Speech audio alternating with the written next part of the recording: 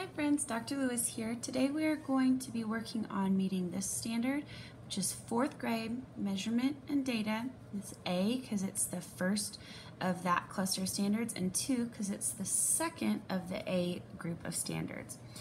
The target that we're going to be meeting within that standard is I can use the four operations to solve word problems involving distance, time, volume, that's liquid volume, mass, the mass of objects, and money. So since we're going to be working with word problems this week, I want to show you a really awesome way to help you tackle those tricky word problems. And one of the ways that we tackle tricky word problems, especially ones that use more than one of the four operations, maybe it's multiplying and adding or dividing and subtracting or multiplying and dividing, whatever it is, you're using multiple operations, we've got to take some steps in order to make that happen and be successful. So one method that we can use is the cubes method. This is an acronym. Each one of these letters stands for a different word. And so cubes, the C in cubes stands for circle, key numbers. The U in cubes stands for underline the question. The B in cubes stands for box, math, action, words. So those are the words that are going to lead us to knowing which operations we're going to be using. E stands for evaluate. And when we evaluate, we ask ourselves, what steps should I take? And that brings us to the S in cubes, which stands for solve. We are going to solve and then we're going to check. Okay, so we're gonna be using this strategy, the cubes method, to help us solve word problems this week. And we're gonna learn how to use cubes using one example from the work that is linked into your playlist. So this is one of the problems that is in your playlist that we're gonna use the cubes method to solve. So let's go ahead and get started. First, before we apply the cubes method, we have to read. We always read closely, so maybe that means reading more than once. In this case, we're gonna have to read several times to make sure we meet all of these. So I'm gonna read it just once all the way through. I'm not gonna annotate it yet. In Emma's supply box, a pencil weighs three ounces. Her scissors weigh three ounces more than the pencil. And a bottle of glue weighs three times as much as the scissors. How much does the bottle of glue weigh in pounds and ounces? Okay, so the first thing that we're gonna do now that we've read it, we're gonna read it through again because we're closely reading this problem. But as we're reading it through this time, we are gonna circle key numbers. Now this word key is important because a lot of times problems will give us distractors and they'll give us more numbers than we need. And so we need to make sure that these are key numbers, numbers that are gonna help us solve the problem. And if you're not sure, just circle them anyway. All right, so in Emma's supply box, a pencil weighs three ounces. So a pencil weighs three ounces. Her scissors weigh three ounces more than the pencil. And a bottle of glue weighs three times as much as the scissors. How much does the bottle of glue weigh in pounds and ounces? So we have circled the key numbers. All right, the next thing we're gonna do is we are going to underline the question. Okay, so we need to make sure that when we're reading this, we're looking for the question and we're gonna underline it. In Emma's supply box, a pencil weighs three ounces. Her scissors weigh three ounces more than the pencil, and a bottle of glue weighs three times as much as the scissors. How much does the bottle of glue weigh in pounds and ounces? Well, I guess it would help if this had a question mark, right? Because that, my friends, is our question. How much does the bottle of glue weigh in pounds and ounces? So once we've underlined our question, set up your answer in advance. Set up your answer in advance. And what that means is my question is how much does the bottle of glue weigh in pounds and ounces? I'm going to set up that, that answer by taking the question and turning it into a statement. The, what are we looking for? How much does the bottle of glue, the bottle of glue weighs, now our answer is going to be in pounds and ounces, so I'm just going to do this. The bottle of glue weighs blank pounds, blank ounces.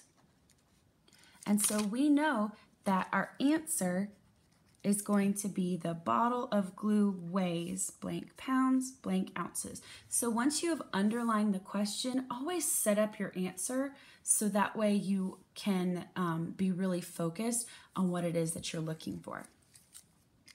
All right, next we need to box some math action words. Now this one, it can be tricky at times because we don't always know what our math action words are. And so what we're going to do is we're going to look at the relationship between the key numbers and the question to help us figure out what the math action words are. So, in Emma's supply box, a pencil weighs three ounces. Okay. Her scissors weigh three ounces more than the pencil. Okay. So her pencil weighs three what? Three ounces. I'm going to box that word ounces. Her scissors weigh three ounces more than the pencil. That is going to tell us how we're going to figure out how much her scissors weigh because they weigh three ounces more than the pencil. So that more than the pencil tells us what operation we're going to be using. And a bottle of glue weighs three times as much as the scissors. So we have to know how much the scissors weigh to figure out how much the glue weighs. But we have to find out how much the scissors weigh by using how much the pencil weighs. So all of these actually go together. Look at all those colors, my goodness. Okay, so now we need to evaluate. Now we need to look at the words that we boxed and the numbers that we circled to figure out what steps should I take. Now remember, the steps that we're taking are getting us to how much the bottle of glue weighs. So why don't you pause the video, take a moment and ask yourself, what steps should I take? Evaluate this question. All right, welcome back. So what we're going to do is we're going to use these math action words and these key numbers to evaluate and figure out what steps should we take. So we are going to see how much the pencil weighs, how much the scissors weigh, and that information will lead us to how much the glue weighs. Okay. So in Emma's supply box, a pencil weighs three ounces. Her scissors weigh three ounces more than the pencil. So we know that the pencil is three ounces and the scissors are three ounces more than the pencil. So if we're trying to figure out what's three ounces more, we add three ounces. So the scissors weigh six ounces. So we know the pencil weighs three ounces. Now we know the scissors weigh six ounces. How much does the glue weigh? So the glue, a bottle of glue weighs three times as much as the scissors. So how much do the scissors weigh? Six ounces. And if we're figuring out the glue bottle, how much it weighs, we need to have three times as much as the scissors. So what do we do to figure that out? It's right in the word times. We multiply the three ounces that the scissors weighed. Or excuse me, that the glue weighs three times as much as the scissors weighed. So how many ounces does the glue bottle weigh? That's right, 18 ounces. Now, is that going to be our final answer? It's not because remember the question says, how much does the bottle of glue weigh in pounds and ounces? I'm going to direct us back to our learning target. We've got to be able to solve these word problems involving mass, and things like that, and weight. So we need to go back to our work from last week and do a conversion table from pounds to ounces. So I'm gonna set up my conversion table right here, and that is gonna be part of the solve and check in cubes. So I know that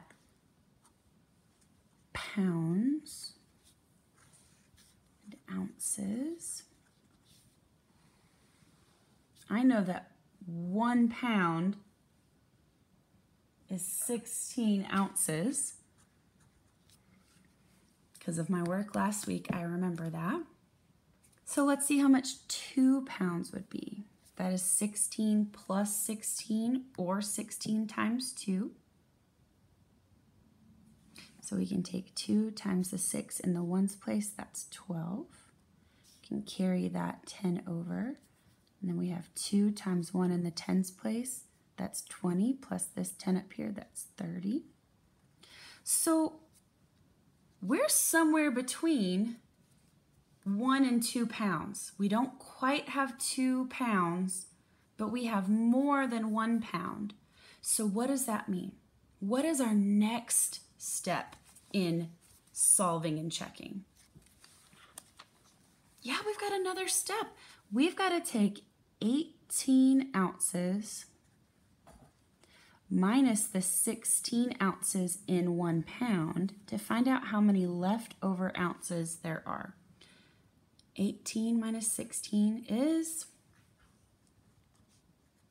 that's two ounces left over when we take away the one pound or the 16 ounces. So that means the bottle of glue weighs one pound, two ounces. So friends, I want you, as you're working this week, I want you to think about using the cubes method in order to help you solve these challenging word problems that use the four operations.